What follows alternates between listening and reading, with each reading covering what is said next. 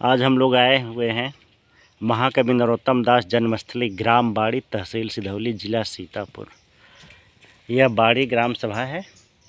इससे कठिनाई से एक किलोमीटर उस क्षेत्र में सिधौली से मिश्रिक रोड जा रही है और ये सिधौली नगर पंचायत से कठिनाई से दो तीन किलोमीटर तीन किलोमीटर दूरी पर मिश्रिक रोड पे स्थित है ये।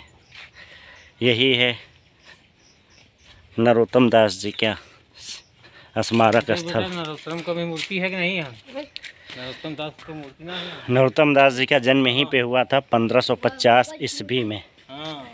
और 1605 में उनका देहावसान हुआ था। कैसे जाना पड़ता है?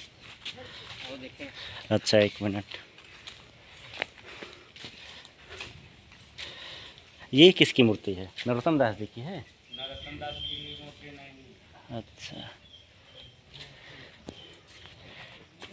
हम्म। अच्छा।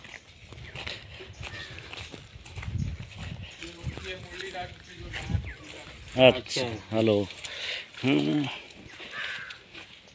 ये है। हम्म हो।